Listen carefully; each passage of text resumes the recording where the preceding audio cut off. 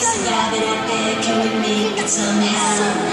This fuck, this will never end. And suddenly it's like I'm in it. Will past be a shadow that will follow us round? Will this memory stay don't leave this town?